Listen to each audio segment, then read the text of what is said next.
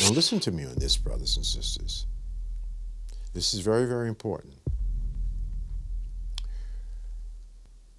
The money you earn or your wealth will determine where you live. Where you live will determine where your children go to school.